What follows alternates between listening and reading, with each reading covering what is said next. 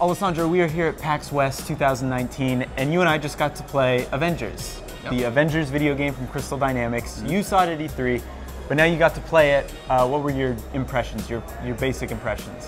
Um, well, first off, um, I feel like uh, I have a better picture of like you know what this game is just all about. Um, as you recall during our chat during E3, um, you know, I, I had a, I had some difficulties trying to sort of understand how this was sort of like a Destiny style experience. And they focused this time, this presentation was about what this game is. They admitted, like, hey, a lot They of people very clear didn't quite understand what this game was. Yeah. So now we are going to go through the four pillars of this game, or whatever, Yeah. the tenets of this game. Sure. Um, we actually basically got to go hands-on with that section they showed off during E3, the uh, that entire San Francisco section. So um, uh, It was okay. Yeah, It- it, um, was very much like go into one room, beat up some guys, cutscene, change characters, beat up some guys. It was- It was a tutorial. Basically. yeah, it was a tutorial. So, so they said the game will open up more as you play, but I wasn't super impressed with that opening. Yeah, um, I I feel like um, maybe the biggest problem I still have with the game is just like uh, eh, how it sort of balances this sort of like Batman Arkham style brawling gameplay with sort of like the loot aspect of the game, the leveling.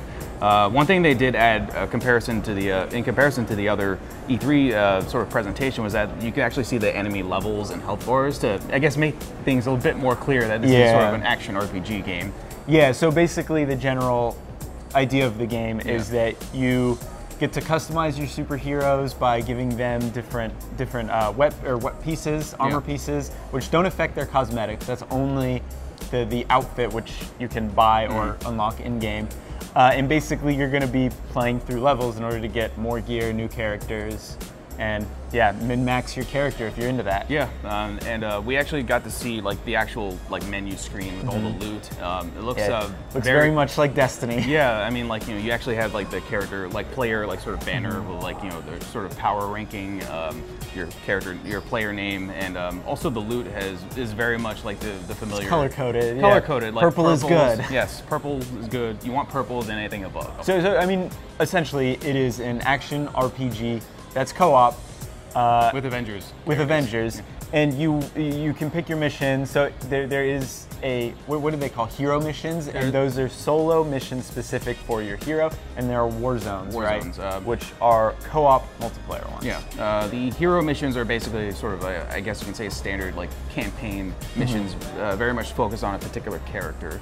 So that's how you move the story forward, basically by doing all these heroic missions. Yeah. Then you do the war zones, which are the more online focused, like you know. Sort But they also made it very clear you could do that solo. You if them you want. solo as well. So, uh, So it'll scale, and, and they said they want to emphasize that this is a game for everyone. Yes. Because you know, lots of kids are going to be playing, of course. an Avengers video game, so you don't have to min max if you want to do some of the tougher stuff. But they'll help out a lot. Yeah. Um, throughout their presentation, uh, the following presentation after we got to go hands-on, they were very clear in trying to sort of, uh, you know, make certain aspects of the game like you know a lot more like uh, presentable. Like, uh, uh, I think the big takeaway they had from E3 is that you know just what, what kind of game is this? Like you know, and Yeah.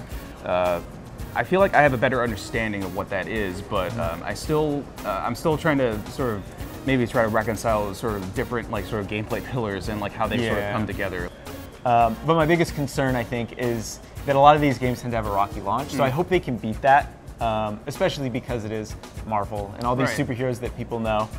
I Um, want it to be good. I mean, it uh, yeah, sounds like a too. really cool. It like, could- it could be really cool. Yeah, but um, again, it's just. I mean, how, how is this going to work? I mean, like you know, that's Yeah. just something that's sort of lingering with me, even after going hands on with it. Yeah. I remember talking to you about it, and just um, I feel better about it now than I did at E3, but I still, you know, sort of have some hesitation about it. So. And, and then the other interesting thing with the story is what they showed off. Captain America goes down with the ship, and they're like, "What happened to Captain America?" Yeah. And they're like, "Next slide. Here's all of his different costumes you can Yeah. get." And it's like, "All right, so Captain America's There's, there's no still there's in no it." shock yeah. here. I mean, like he's Captain America will be in the game along with uh, a bunch of other heroes. as yeah. well. So they said they'll be adding new heroes, new areas for free. Yep.